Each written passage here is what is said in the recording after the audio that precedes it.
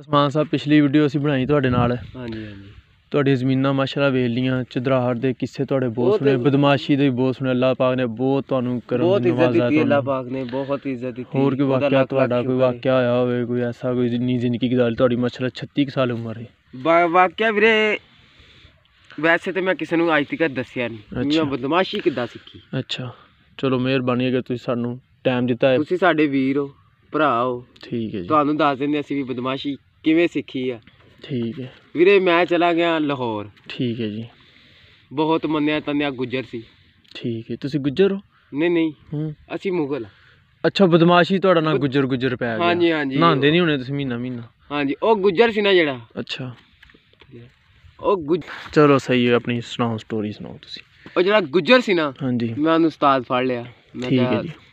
ਸਾਨੂੰ ਵੀ ਕੋਈ ਬਦਮਾਸ਼ੀ ਦੱਸੋ। ਅੱਛਾ ਜਿਹੜੇ ਤੁਸੀਂ ਸ਼ਾਗਿਰਦ ਹੋਏ ਹੋ ਨਵੀਂ ਨਵੀਂ ਬਦਮਾਸ਼ੀ ਸ਼ੁਰੂ ਨਵੀਂ ਕੀਤੀ ਨਵੀਂ। ਬਦਮਾਸ਼ੀ ਸ਼ੌਕ ਹੋਣਾ ਤੁਹਾਨੂੰ ਹਾਂਜੀ, ਬਦਮਾਸ਼ੀ ਸ਼ੌਕ ਕਰਨ ਦਾ। ਬਚਪਨ ਤੋਂ ਹੀ ਸ਼ੌਕ ਸੀ ਅੱਜ ਕੱਲ੍ਹ ਵਾਲੀ। ਨਵੀਂ ਜਿਹੜੀ ਜਨਰੇਸ਼ਨ ਉਹ ਖੂਨ ਅੱਗੇ ਹੀ ਗਰਮ ਰਹਿੰਦਾ ਹੈ। ਹਾਂਜੀ ਹਾਂਜੀ। ਠੀਕ ਹੈ ਜੀ। ਤੇ ਕਈਆਂ ਬਦਮਾਸ਼ਾਂ ਨੂੰ ਸੈੱਟ ਕਰਨ ਵਾਸਤੇ ਮੈਂ ਲਾਹੌਰ ਚਲਾ ਗਿਆ। ਬਦਮਾਸ਼ੀ ਸਿੱਖਣ। ਚੱਕ ਚ ਵੈਰ ਪੈ ਗਏ ਹੋਣੇ ਵੈਰ ਪੈ। ਗਏ ਦੁਸ਼ਮਣੀਆਂ ਪੈ ਗਈਆਂ। ਤੁਸੀਂ ਪਿਸਟਲ ਵੀ ਸੁਣਿਆ ਬੜੇ ਰੱਖੇ ਜੋ ਪਾਣੀ ਵਾਲੇ। ਹਾਂਜੀ ਉਹ ਉਹ ਛੱਡ ਦਿੱਤੇ ਉਹ ਸੀ। ਛੋਟੇ ਹੁੰਦੇ ਰੱਖੇ ਹੋਣੇ। ਛੋਟੇ ਹੁੰਦੇ ਆ। ਅੱਛਾ ਅੱਛਾ। ਜਦੋਂ ਨਵੀਂ ਨਵੀਂ ਬਦਮਾਸ਼ੀ ਸਿੱਖੀ ਨਾ ਹੂੰ ਹੂੰ। ਉਦੋਂ ਛੱਡ ਦਿੱਤੇ ਸੀ। ਠੀਕ ਹੈ। ਚਲਾ ਗਿਆ ਲਾਹੌਰ। ਅੱਛਾ। ਉੱਥੇ ਗਿਆ ਗੁੱਜਰ ਨੂੰ ਮਿਲਿਆ। ਹੂੰ। ਜਿਹੜਾ ਮੇਰਾ ਉਸਤਾਦ ਪਾਕ ਸੀ। ਠੀਕ ਹੈ ਠੀਕ ਠੀਕ ਹੈ। ਉਹਨਾਂ ਨੇ ਮੈਂ ਕਿਹਾ ਮੈਨੂੰ ਬਦਮਾਸ਼ੀ ਸਿਖਾਓ। ਮਾਸ਼ਾਅੱਲਾ। ਉਹਨਾਂ ਨੇ ਕਿਹਾ ਬੱਚੇ ਅੱਜ ਤੱਕ ਮੈਂ ਕਿਸੇ ਨੂੰ ਨਹੀਂ ਸਿਖਾਈ। ਠੀਕ ਹੈ। ਪਰ ਤੂੰ ਵਾਹਦ ਬੰਦਾ ਵਾ ਜਿਹਨੂੰ ਮੈਂ। ਸਿਖਾਣਾ। ਠੀਕ ਹੈ। ਉਹਨੇ ਕਿਹਾ ਚੱਲ ਆ ਮੇਰੇ ਨਾਲ ਚੱਲੀਏ। ਠੀਕ ਹੈ। ਅਸੀਂ ਚਲੇ ਗਏ ਭਾਈ ਇੱਕ ਕਬਜ਼ੇ ਤੇ। ਅਸੀਂ ਚਲੇ ਗਏ ਕਬਜ਼ੇ ਤੇ। ਠੀਕ ਹੈ ਉਹਦੇ ਨਾਲ ਗੁਜਰ ਉਹਦੇ ਨਾਲ ਚਲੇ ਗਏ। ਹੂੰ। ਉਹਨੇ ਜਾ ਕੇ ਆਖਿਆ ਵੀ ਪੁੱਤਰ ਵੇਖ ਮੇਰੀਆਂ ਅੱਖਾਂ ਲਾਲ ਹੋਈਆਂ। ਵੀ ਦੁਸ਼ਮਣ ਨਾਲ ਵੇਖ ਕੇ। ਦੁਸ਼ਮਣਾਂ ਨਾਲ ਦੇਖ ਕੇ। ਠੀਕ ਹੈ। ਯਾਨੀ ਕਿ ਗਰੁੱਪ ਹੋਣਾ ਪੂਰਾ ਉਹਨਾਂ ਦਾ 20 ਜ਼ਰੀਆ ਬੰਦੇ। ਦੱਸਿਆ ਵੀ ਇਹ ਬਦਮਾਸ਼ੀ ਟੈਪ। ਹੁੰਦਾ ਵਾ। ਠੀਕ ਹੈ। ਤੇ ਉਸ ਤੋਂ ਬਾਅਦ ਉਹਨੇ ਆਖਿਆ ਮੇਰੀ ਅੱਖਾਂ ਲਾਲ ਹੋਈਆਂ। ਮੈਂ ਕਿਹਾ ਨਹੀਂ। ਦੁਸ਼ਮਣ ਥੋੜਾ ਲਾਗੇ ਆ ਗਿਆ।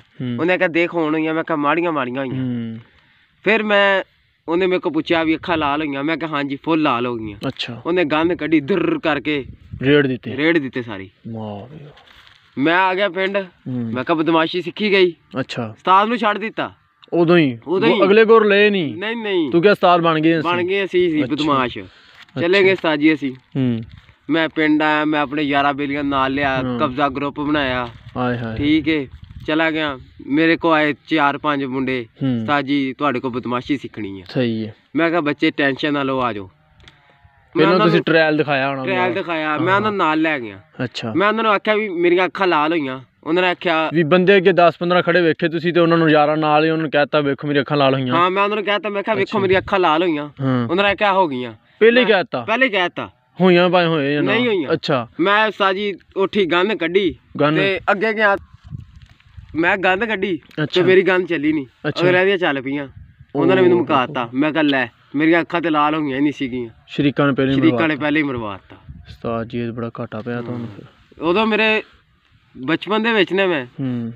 ਸਿਰਫ ਫਸਲਾਂ ਤੁਹਾਨੂੰ ਦਿਖਾਈਆਂ ਸੀ। ਹਾਂਜੀ ਹਾਂਜੀ। ਰੱਬ ਦਾ ਬਹੁਤ ਸ਼ੁਕਰ ਆ। ਬਹੁਤ ਫਸਲਾਂ ਰੱਬ ਨੇ ਦਿੱਤੀਆਂ। ਬਹੁਤ ਸ਼ੁਕਰ। ਇੱਕ ਉਹ ਤੁਹਾਨੂੰ ਮੈਂ ਜਿੱਥੇ ਦਿਖਾਇਆ ਸੀ ਪਲਾਜ਼ਾ ਬਣਾਉਣਾ ਸ਼ਰੀਰ ਦੇ ਥੱਲੇ। ਹਾਂਜੀ ਹਾਂਜੀ।